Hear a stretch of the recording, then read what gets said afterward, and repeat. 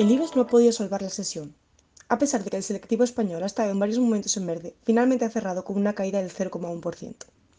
Ha sido el índice menos castigado del viejo continente. La presión de valores como IAG, Pharmamar o Inditex han podido más que el empuje que han ejercido las financieras.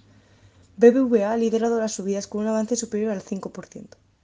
Algo menores han sido en CaixaBank, Inter y Bankia, que han avanzado menos de un 2%.